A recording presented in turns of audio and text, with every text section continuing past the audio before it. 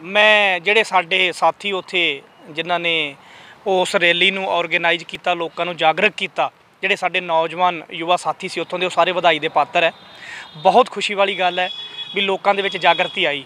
ਬਹੁਤ ਹੀ ਸੋਹਣਾ ਪ੍ਰੋਗਰਾਮ ਸੀਗਾ, ਬੜਾ ਅਨੁਸ਼ਾਸਨ ਦੇ ਵਿੱਚ ਸਿਸਟਮ ਸੀ।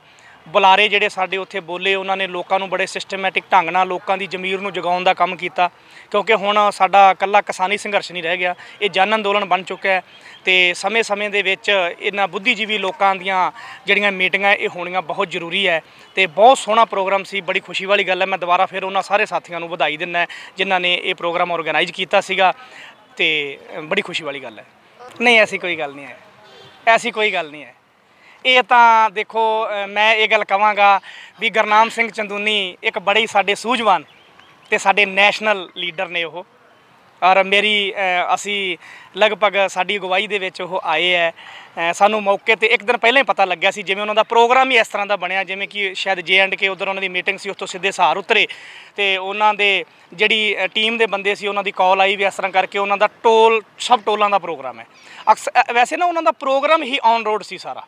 ਜਿਵੇਂ ਕਿ ਆਪਣੇ ਨੇੜੇ ਗੱਲ ਕਰੀਏ ਭਾਵ ਦੀ ਟੋਲ ਹੋ ਗਿਆ, ਆਪਣਾ ਖੂਹੀਆਂ ਮਲਕਾਣਾ ਟੋਲ ਹੋ ਗਿਆ।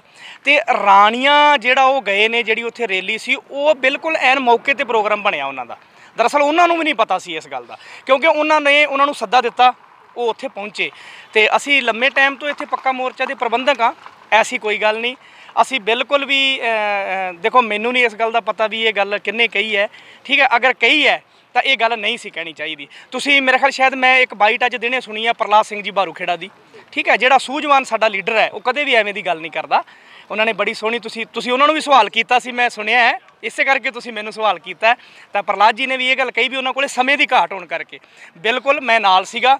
ਸਮੇਂ ਦੀ ਘਾਟ ਹੋਣ ਕਰਕੇ ਉਹ ਸ਼ਾਇਦ ਇੱਥੇ ਨਹੀਂ ਆਏ। ਪਰ ਜੇ ਹੋ ਸਕਦਾ ਅਸੀਂ ਸਾਰੇ ਪ੍ਰਬੰਧਕ ਵੀ ਅਗਰ ਸਾਡੀ ਕੋਈ ਮੀਟਿੰਗ ਹੁੰਦੀ, ਅਸੀਂ ਉਹਨਾਂ ਨੂੰ ਕਹਿੰਦੇ, ਇਹ ਨਹੀਂ ਹੋ ਸਕਦਾ ਸੀ ਵੀ ਗੁਰਨਾਮ ਸਿੰਘ ਜੀ ਇੱਥੇ ਨਾ ਹੁੰਦੇ। ਸਮੇਂ ਦੀ ਘਾਟ ਕਰਕੇ ਨਹੀਂ ਆਏ, ਪਰ ਐਵੇਂ ਦੀ ਗੱਲ ਇਹੋ ਜੇ ਇੱਕ ਵਧੀਆ ਚਰਿੱਤਰਵਾਨ ਲੀਡਰ ਦੇ ਸ਼ਾਨ ਦੇ ਖਿਲਾਫ ਅਗਰ ਐਵੇਂ ਦੀ ਗੱਲ ਨਹੀਂ ਕਰਨੀ ਚਾਹੀਦੀ ਵੀ ਉਹ ਜਾਣਬੁੱਝ ਕੇ ਨਹੀਂ ਆਏ।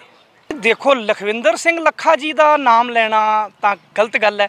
ਲਖਵਿੰਦਰ ਸਿੰਘ ਲੱਖਾ ਜੀ ਦਾ ਅੰਦੋਲਨ ਥੋੜਾ ਕੋਈ, ਜਾਂ ਗੁਰਪ੍ਰੀਤ ਦਾ ਅੰਦੋਲਨ ਹੈ, ਜਾਂ ਪ੍ਰਲਾਦ ਸਿੰਘ ਬਾਰੂਖੇੜਾ ਦਾ ਅੰਦੋਲਨ ਹੈ, ਜਾਂ ਆਪਾਂ ਕਿਸੇ ਹੋਰ ਸਾਥੀ ਦਾ ਨਾਮ ਲਈਏ, ਇਹ ਕੋਈ ਇੱਕ ਬੰਦੇ ਦਾ ਅੰਦੋਲਨ ਥੋੜਾ ਹੈ।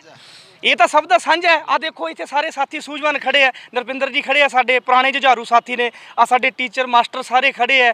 ਔਰ ਸਵੇਰੇ ਵੀ ਜਿਹੜੀ ਕਨਵੈਨਸ਼ਨ ਹੈ, ਇੱਕ ਤੁਹਾਨੂੰ ਖੁਸ਼ੀ ਹੋਏਗੀ ਇਸ ਗੱਲ ਦੀ, ਜਿਵੇਂ ਕਿ ਤੁਸੀਂ ਪਹਿਲਾਂ ਨਰਪਿੰਦਰ ਜੀ ਨੇ ਵੀ ਕਿਹਾ, ਸਵੇਰੇ ਸ਼ਹੀਦ ਆਜਮ ਸਰਦਾਰ ਜੋ ਭਗਤ ਸਿੰਘ ਹੈ, ਉਹਨਾਂ ਦੇ ਜਿਹੜੇ ਭਾਂਜੇ ਆ, ਸਾਡੀ ਭੈਣ ਅਮਰ ਕੌਰ ਦੇ ਜਿਹੜੇ ਪੁੱਤਰ ਨੇ, ਸਪੁੱਤਰ ਨੇ, ਉਹ ਸਵੇਰੇ ਸਾਡੇ 'ਚ ਆ ਰਹੇ ਆ। ਕਿੱਡੀ ਖੁਸ਼ੀ ਵਾਲੀ ਗੱਲ ਹੈ। ਤੇ ਸਾਡੇ ਪੱਕੇ ਮੋਰਚੇ ਦੇ ਸਵੇਰੇ ਪਹੁੰਚ ਰਹੇ ਆ। ਤੇ ਸਾਨੂੰ ਬੜੀ ਖੁਸ਼ੀ ਵਾਲੀ ਗੱਲ ਹੈ ਔਰ ਮੈਂ ਤੁਹਾਡੇ ਮੀਡੀਆ ਰਾਹੀਂ ਇਹ ਗੱਲ ਵੀ ਕਹਾਂਗਾ ਸਾਰੇ ਸਾਥੀਆਂ ਨੂੰ ਵੀ ਸਵੇਰੇ ਵੱਧ ਤੋਂ ਵੱਧ ਜਿੰਨੀ ਗਿਣਤੀ ਦੇ ਵਿੱਚ ਹੋ ਸਕੇ, ਤੁਸੀਂ ਇੱਥੇ ਸਾਡੇ ਪੱਕਾ ਮੋਰਚਾ ਸਟੇਡੀਅਮ ਦੇ ਵਿੱਚ ਪਹੁੰਚੋ ਤੇ ਉਹਨਾਂ ਦੇ ਵਿਚਾਰਾਂ ਨੂੰ ਸੁਣੋ ਤੇ ਬੜੀ ਖੁਸ਼ੀ ਹੋਏਗੀ।